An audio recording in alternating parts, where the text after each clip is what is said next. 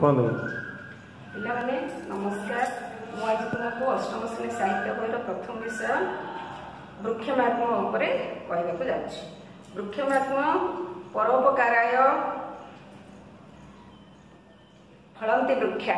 ପରୋପକାରାୟ ବହନ୍ତି ନଦ୍ୟ ପରୋପକାରାୟ ଦୋହନ୍ତି ଗାବହ ପରୋପକାରାୟ ସତାଂ ବିଭୂତାୟ। ତେଣୁ ସେଇ ବୃକ୍ଷ ଯିଏକି ଜଗତର ଅଶେଷ କଲ୍ୟାଣ ସାଧନ କରୁଛି ତାର ମାହାତ୍ମ୍ୟ।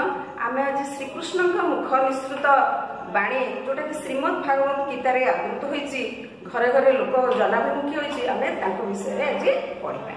ଶ୍ରୀମଦ୍ ଭାଗବତ ଗୀତା ରଚୟିତା ହେଲେ ଅତିବଡ଼ି ଜଗନ୍ନାଥ ଦାସ। ତାଙ୍କର ମହାନ କୃତି ଗୁଡ଼ିକ ହେଲା ତୁଳାବିଣା ଅର୍ଥ କୋଇଲି ଦାରୁ ବ୍ରହ୍ମ ଗୀତା ଯାହାକି ଆମର ଘରେ ଘରେ ଆଜି ସୁପରିଚିତ। ତାଙ୍କର ଜନ୍ମ ହେଲା ପଞ୍ଚଦଶ ଶତାବ୍ଦୀର ପ୍ରାରମ୍ଭ ଓ ଷୋଡ଼ଶ ଶତାବ୍ଦୀର ଶେଷାର୍ଦ୍ଧ ଶ୍ରୀକୃଷ୍ଣ ବାଲ୍ୟକାଳରୁ ତାଙ୍କର ଗୋ ଶବ୍ଦ ସହିତ ଗାଈ ଗୋରୁ ଗୋପାଳ ଗୋପବାଳକ ଗୋ ଶବ୍ଦ ସହିତ ସେ ଅତ୍ୟନ୍ତ ସୁପରିଚିତ। ତେଣୁ ଯେତେବେଳେ ଅଶେଷ ଗ୍ରୀଷ୍ମ କାଳରେ ଶ୍ରୀକୃଷ୍ଣ ଗୋପବାଳକଙ୍କ ସହିତ ଗୋରୁ ଚରେଇବାକୁ ବନକୁ ଯାଇଥିଲେ ସେ ସମୟରେ ଗ୍ରୀଷ୍ମର ଅସହ୍ୟ ତାପ ଅସହ୍ୟ ରୌଦ୍ର ତାପ ତାଙ୍କୁ ଦୁଃଖାଭିଭୂତ କରିଥିଲେ।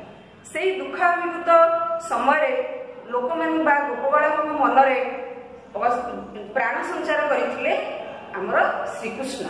ତେଣୁ କବିଙ୍କର ଯୋଉ ବାଣୀ ଆମେ ଗୃହ ଗୃହେ ପ୍ରଚାରିତ ପ୍ରସାରିତ ଓ ଲୋକାଭିମୁଖୀ ତାହା ଆମେ ଆଜି ଶୁଣିବା। ତେଣୁ ଗୋରୁ ଗୋପାଳମାନଙ୍କ ସହିତ ସେ ନେଇ ଗାଈ ଚରେଇବାକୁ ଯାଉଥିବା ସମୟରେ ଗୋରୁମାନେ ତାଙ୍କର ନିଃଶବ୍ଦ ଗୋଚାଳନା ବା ଗୋଚାରଣ କରୁଥିବା ସମୟରେ ସେ ଗଛ ତଳେ ଛାୟାରେ ବସି ଗୋପବାଳଙ୍କ ମେଳରେ ବୃକ୍ଷର ମହାତ୍ମା ସମ୍ବନ୍ଧରେ ଆଲୋଚନା କରିଛନ୍ତି। ଏବଂ ସେଇ ଗାଈ ଏବଂ ଗୋରୁ ଯାହାକି ଆମର ବୃକ୍ଷ ସହିତ ଆମେ ସୁପରିଚିତ ବାୟୁମଣ୍ଡଳର ବିଶୁଦ୍ଧତା ଦାରୁ ଅଙ୍ଗାର ଭସ୍ମ କାଷ୍ଠ ପାଉଁଶ ଏବଂ ବାଡ଼ ରୂପକ କଣ୍ଟା ଯେଉଁ କଣ୍ଟା ଆମକୁ ଆମ ଘରର ସୁରକ୍ଷା ପ୍ରଦାନ କରେ ତାହା ଆମକୁ ସେ ବୃକ୍ଷ ହିଁ ପ୍ରଦାନ କରିଥାଏ। ବୃକ୍ଷକୁ ସୁଜନ ବ୍ୟକ୍ତି ବା ଉତ୍ତମ ବ୍ୟକ୍ତିଙ୍କ ସହିତ ତୁଳନା କରାଯାଇଛି। ସୁଜନ ଜନ କ'ଣ ଥିଲେ ନା ଉତ୍ତମ ଲୋକ। ତାଙ୍କ ଘରକୁ ଅତିଥି ଗଲେ ସେ କେବେ ନିରାଶ ହୁଅନ୍ତି ନାହିଁ।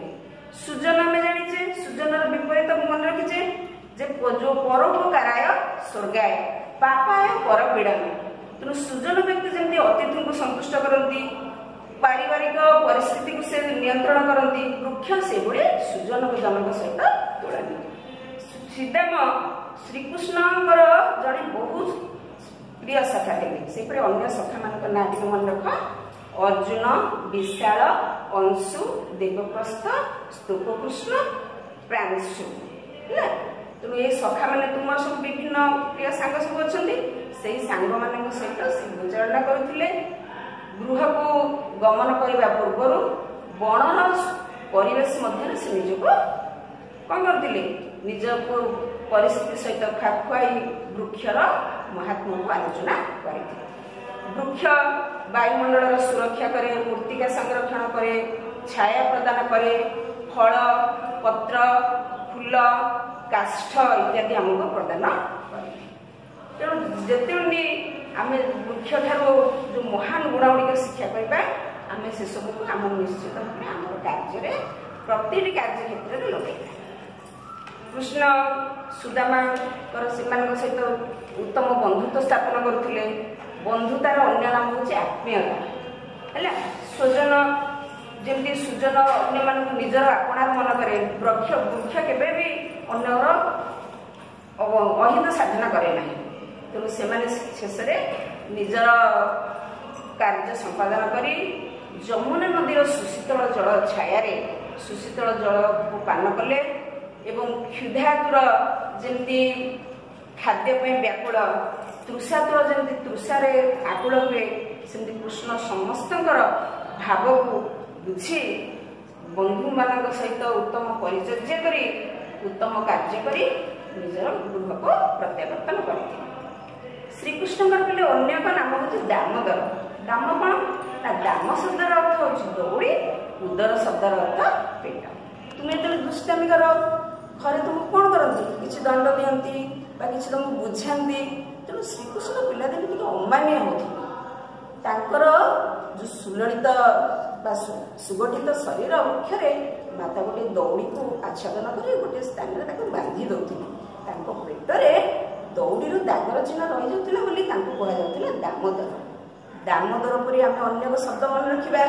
ବୃକୋଦର ଭୀମଙ୍କର ଅନ୍ୟ ନାମ ହେଉଛି ବୃକୋଦର। ବୃକୋଦର କଣ? ତାଙ୍କ ପେଟଟି ବଡ଼ ପୂର୍ବରୁ ଆମେ ମଣ୍ଡାଖିଆ ଅସୁର କାହାଣୀ ଜାଣିଛେ? ସେମିତି ଲମ୍ବୋଦର। ଲମ୍ବୋଦର ହେଲେ କି? ଗଣେଶ। ହେଲା? ତେଣୁ ତାଙ୍କର ଏଇପରି ଆମେ କିଛି ଶବ୍ଦ ମନେ ରଖିବା। ଲାଗେ ଆଉ ଲାଗେ। ଲାଗେ କଣ? ଲାଗେ ହେଲା ନିକଟରେ ଲାଗେ ହେଲା କାର୍ଯ୍ୟରେ ଲେଖିବା। ସେମିତି ଲାଗି ଆଉ ଲାଗି। ଲାଗି ହେଲା ପାଇଁ ଲାଗି ହେଲା ଛାଡ଼ି ଛାଡ଼ି ଲାଗି ଲାଗି ରହିବା। ଗୃହକୁ ଗୃହ ଲାଗି ଲାଗି ରହିଛି।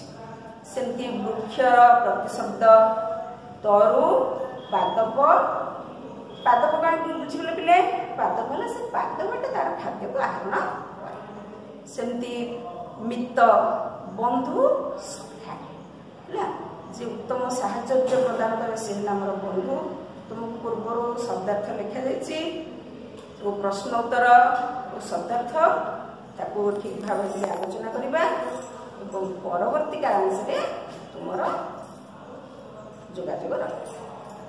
ରହିଲି